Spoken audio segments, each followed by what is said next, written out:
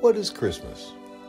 It is tenderness for the past, courage for the present, and hope for the future.